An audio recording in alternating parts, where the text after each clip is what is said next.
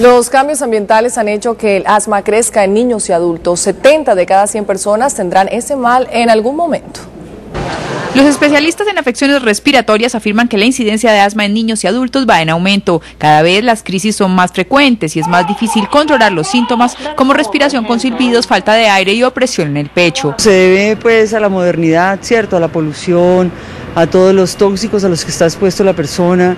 Eh, los niños vienen contaminados prácticamente desde, desde inúteros. Según neumólogos y pediatras, esto ha hecho que el asma cambie. Antes era considerada netamente una reacción alérgica mediada por el sistema inmunológico, pero ahora se estudian otras causas. No solamente los niños están sufriendo de asma, sino que ahora los adultos también están recayendo. Problemas respiratorios, los broncoespasmos y una dificultad progresiva para respirar son los principales síntomas que reportan niños y adultos con asma. En el mundo entero, digamos, incluyendo Sudamérica, Europa y eso, la incidencia de asma está alrededor del 70% y como te digo, va en incrementos. El tratamiento convencional incluye antiinflamatorios y corticoides, pero luego de encontrar la causa, la correcta intervención del especialista es la clave para el manejo del asma, que en los casos menos severos se hace con inhaladores.